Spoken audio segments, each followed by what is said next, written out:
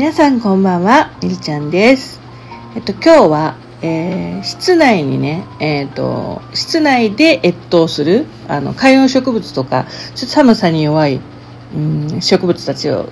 とかを、えっと、室内に、とか玄関とかに入れたいので、うんと、虫が入ってないかとかね、こう土を変えたりとかして、こうチェックして、あの、室内にきれいにしてね、うん、入れるために植え替え。本当はこの時期に、この寒い時期にあまりやらない方が本当はいいんですけど、まあどうしてもね、あの、春に外に出して、本当は春に植え替えがいいんですけど、春に外に出して、でその時にも狭そうだったら植え替えたり植え替えなかったりとかするんですけど、まあ、秋しまう時に絶対ちょっと一旦、あの、土の中確認してね、あの、綺麗にして入れるっていうことでどうしても植え替えをしたいので、うん、あの、私はしてしまうんですけど、あ、まあ、おすすめはしないですけどね、まあ、どうしても、うんうんうん、あまりね、一応でもチェックして、あの、まあ、コガネムシの幼虫とかね、入ってたら嫌だし、うん、そういうのを見て、あの、で、あの、虫除けして、シュッシュ、スプレーして入れるっていう形、土とか変えて入れるっていう形にしたいので、うん、それをやっていこうかなと思っています。もうね、朝晩急に冷えてきたじゃないですか。なのでね、あの、ハイビスカスとかね、うん、寒さに弱い子たちをちょっと、あ、早く入れてあげなきゃなと思って、もう、うん、なので、慌てて 植え替えしたんですけど、そうそうそうそう。そういう作業をね、やっていこうかと思っています。まだね、えっ、と、昼間は20度を超える、時には25度近くなる、夏、夏日に近くなるような、うん、そんな気温の日もあるので、気温差、朝晩と昼間の気温差がすごい激しくて、ね、10度以上あったりとかして、ちょっと、あの、でも昼間がね、やっぱまだ暑すぎるので、あの、シクラメンとかね、あの、買ってきたばかりのシクラメンをね、あの、えーハロウィンが終わるまで玄関の中です。1週間ぐらい育ってたんですよ。で、ハロウィンが終わったので、クリスマスのものにも模様替えをして、外っていうか、まあ、って言っても扉1枚挟むだけ、玄関の外側の、あの、軒下の、えっ、と、花台、花の台ね、に、あの、乗せたんです。で、だけど、やっぱり直射日光になるので、あの、それが昼間、朝とか夜はシャシャキーンとして元気なんですけど、昼間も暑いらしくって、あの、温度差がすごいらしくって、ダラーンって首がダラーンって下がっちゃってて、で、水切れかなと思って水切れじゃない状態。うん。で、夜になるとまた戻ってみたいな、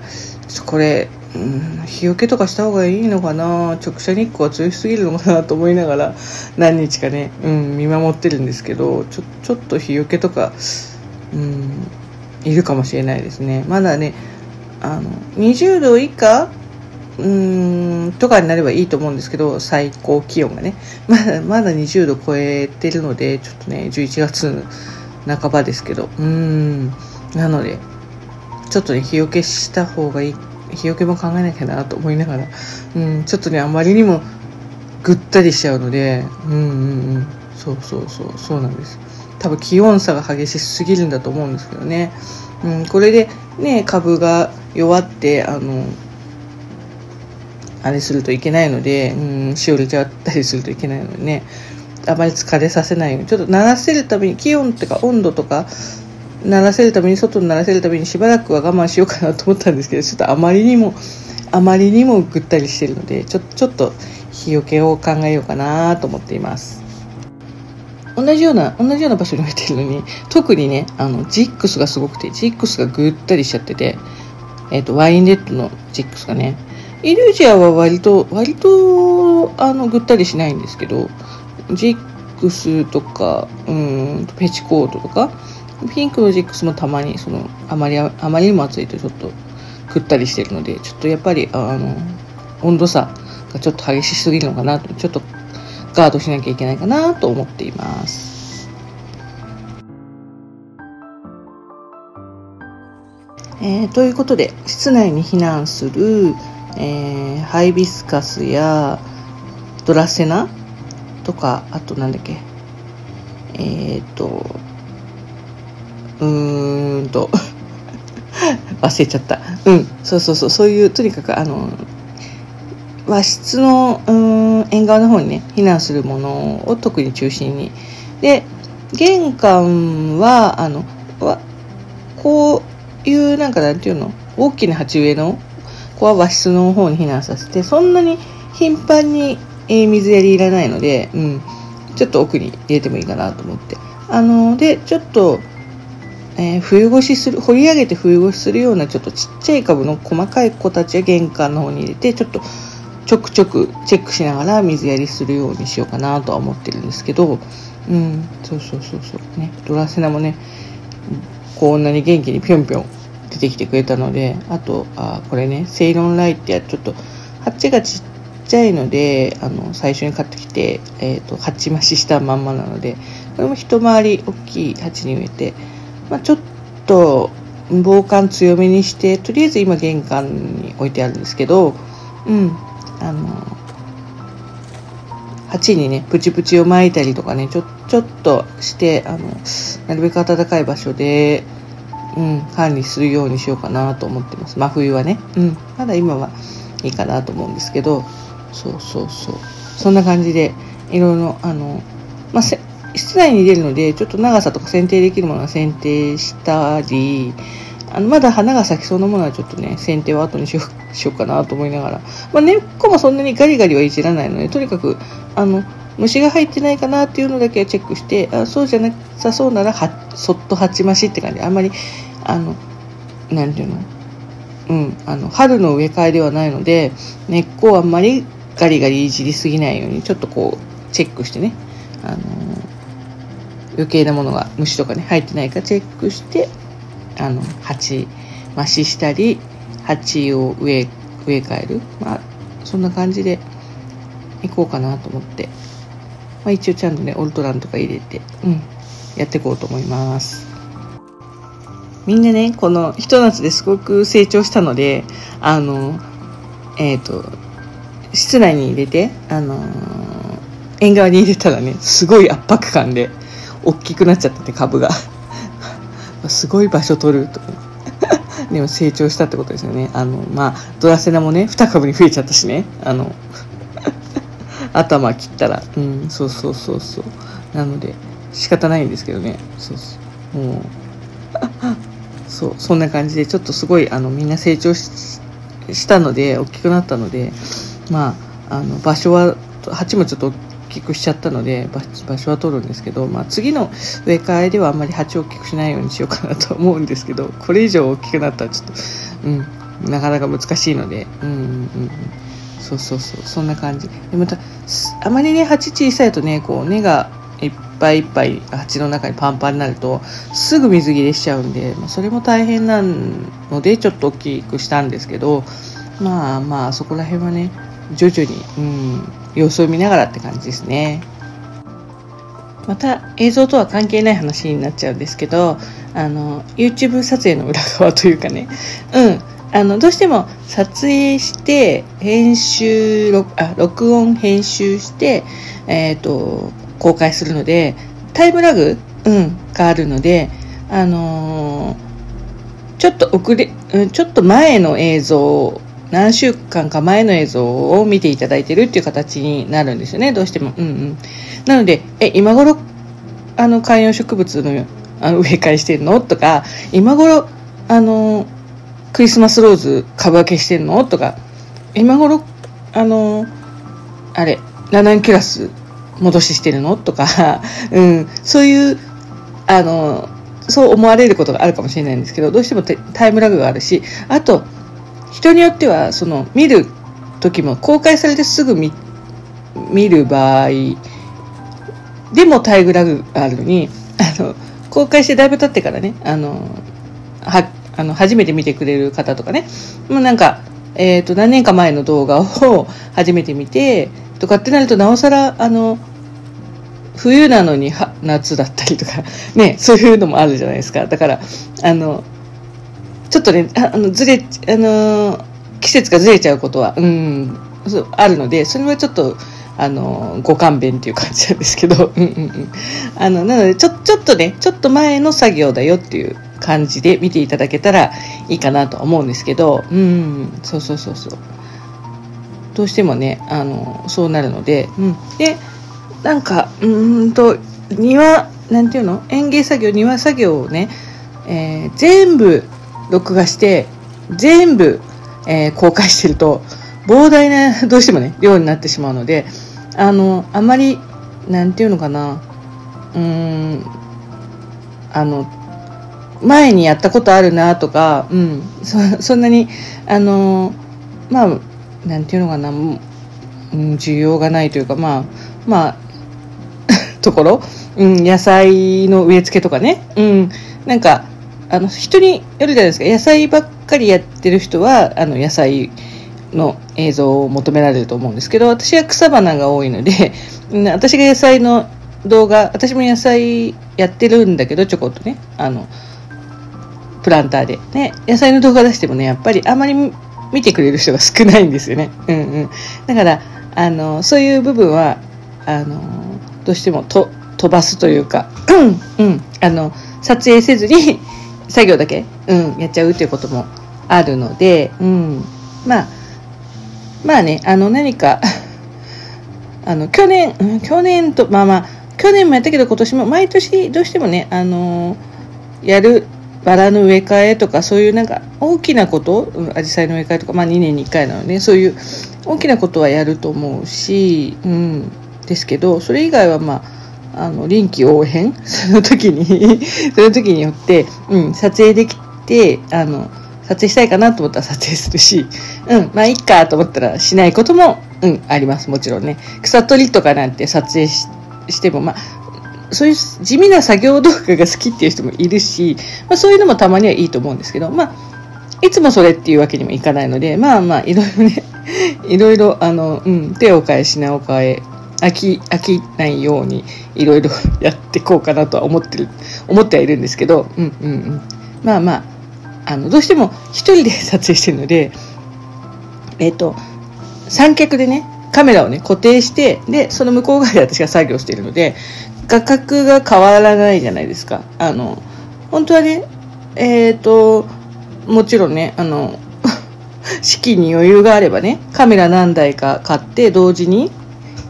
横横から前から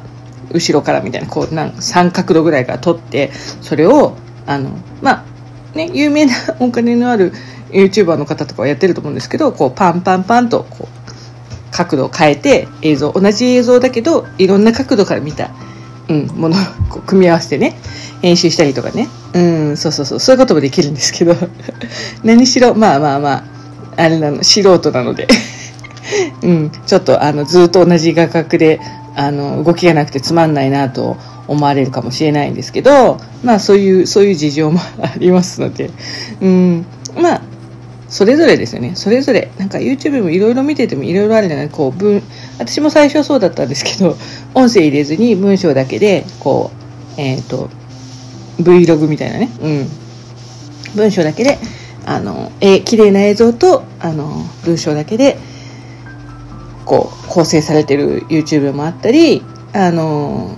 こうさ大体こう「How to」みたいな説明みたいなとこう喋りながらこう動きながら 説明してみこう見せて実際見せてっていうあのパターンもあるしまあいろいろいろいろだと思うんですけど、まあ、私の場合は「How to」ではないのでまあ多少ねそういう部分もあるあるんですけど、私はこうやってやってるよとか私の考え方はこうだよって言ってるだけなんでうん。みんながそうしなさいよっていうことでは全然、うん、全然ないので、あの、あ、こう、こんな、あ、え、こんな感じでもできるんだとか、え、こんなことしてる人いるんだとか そう、そういう参考になればいいかなっていう。うん。まあ、園芸、初心者が見るとちょ、ちょっと、うん、どうだろう、あまり優しくはないかもしれない。中級以上の方が見てくださると、ああ、こういうやり方もあるね、あるのね、とか、こういう考え方もあるのね、とかいう感じで、うん、あの、あの、になるかなと思って。うんうんうん。まあ多分初心者の方が見たら、な何やってるのか何言ってるのかわか わからないって感じになるかもしれないんですけど、まあそういうのはね、あの、こう、某某有名なあの方にお任せしてね「How to」はね、うん、優しく親切に初心者向けに教えてくれる、ね、園芸 YouTube やってる方がたくさんいらっしゃるのでそういう方たちにお任せしてるんですけど、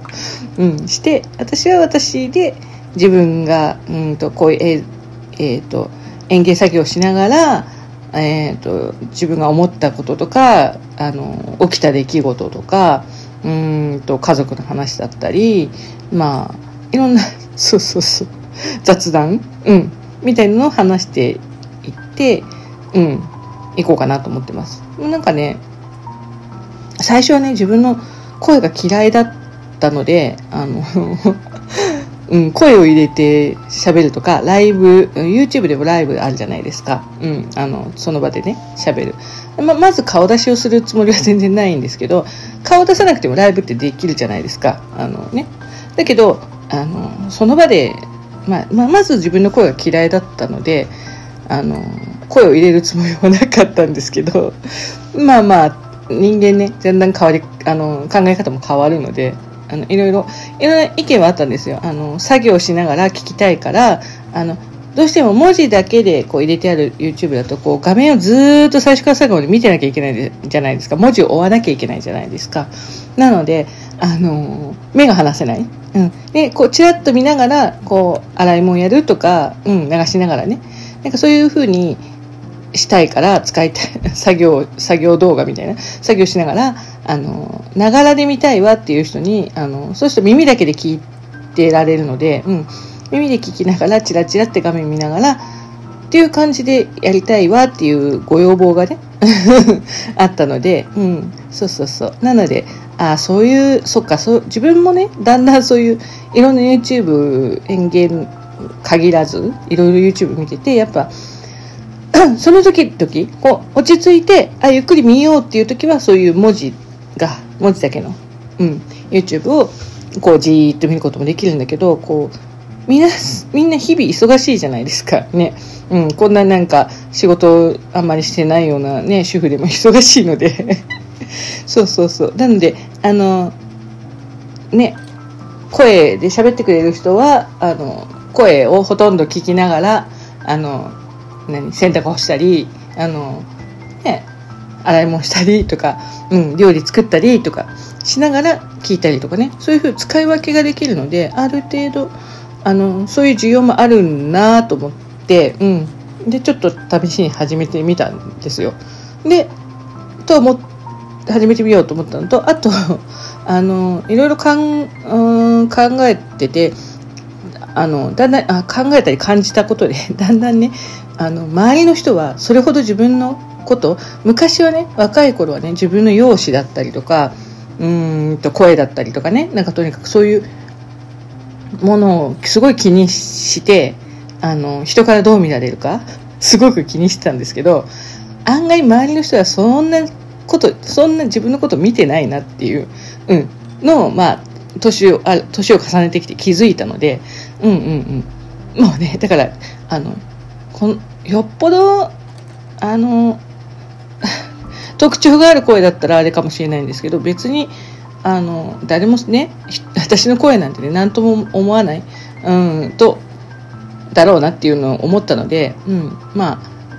まあいっかと思って そんなに自分が思ってるほど周りは気にしてないよっていうのに気づいたので、うん、なのでまああいっかと思ってやってみてあのあまりにもね苦情 苦情、うん、あんたの声があの嫌いだわとかあの聞きにくいから喋るなとか言われればちょっと考えたけど文字の方にね戻そうかなとかいうのも考えたんですけど。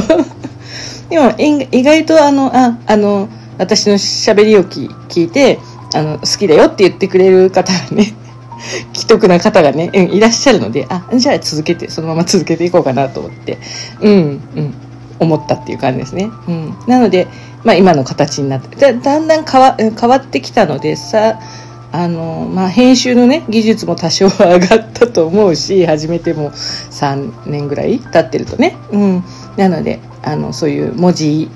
文章をこう、えー、文字で入れてたのから、えー、口で喋るようになったりとか、まあ多少ね、だんだんそのうちあのどうだろうな、うん、だんだん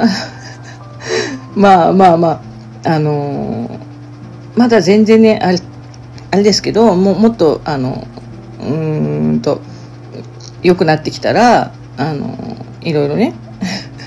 そしたらもっと成長したらもっといいマイクが欲しいなとか、うん、カメラが 今あの編集え撮影録音編集全部ねあの iPhone でやってるので1台で。そういう撮影用のカメラが欲しいなとかそういう風になっていくかもしれないんですけどとりあえず今のところは今の形でね、うん、やっていこうかなと思っていろいろねあのやってるんですけど。まあいろいろあのまあそのできることできないことがねどうしてもあるのでまああのできる範囲で自分の自分がやりたいことできること。うん。でまあ多少はリクリクエストでこういうのが見たいと言われればそれに答えられるものは答えてうん。そういう感じでやっていきたいかなと思ってはいます。はい。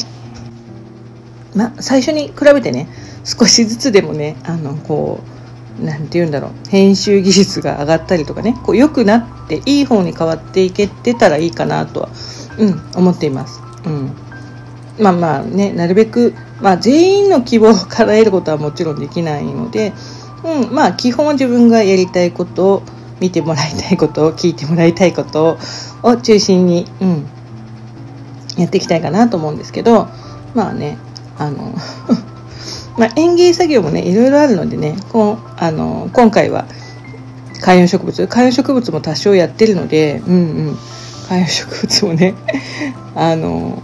まあ、多分いろいろあの観葉植物だけをやってる人とかうんとバラだけをやってる人とかあのなんだろう野菜だけをやってる人とかいろいろねあの園芸系でもいろいろいらっしゃるじゃないですか。私はもうあれもこれもやりたいのでうん欲張りなのでねあれもこれもやりたいのであれもこれもやってこんな感じに こんな感じになってるんですけどうんうんうんうん。そうそうそうそう。まあね楽しく長く続けられるように、うん、それが一番かなと思って、うん、自分が楽しくやってないとあの多分見る方も楽しくないと思うんですよ、うん。ね、なので自分が楽しんでやることが優先かなと思ってます。はい。演芸っていうのはね終わりがないのでやろうと思えばいくらでもやること探せるしあのいくらでもやることあるんですよ。そこをどこまでえー、ここまでやろうとかこれはやめとこうとか自分のねあの取捨選択でうんどこまでやるっていうのを決めるんですけど、うんうんうん、まあなのであのなんていうの終わりがない趣味なのでね、うん、で毎年、えーと、一応夏は夏あの冬は冬ってあっても同じ夏はないし同じ冬はないのであの去年大丈夫だったことが今年ダメだったり逆もあったりね。あのそういう変化が あるじゃないですか。だから毎年同じだったら多分つまらないと思うんですけど、うん、だけど毎年違うので同じことをやったとしてもね同じものを育ててて同じようにやったとしても結果が毎年違ったりするのでなんかうんなんか面白いいいいい趣味だなって うん思いますね。あの本当に飽きることがない。うん。今のところ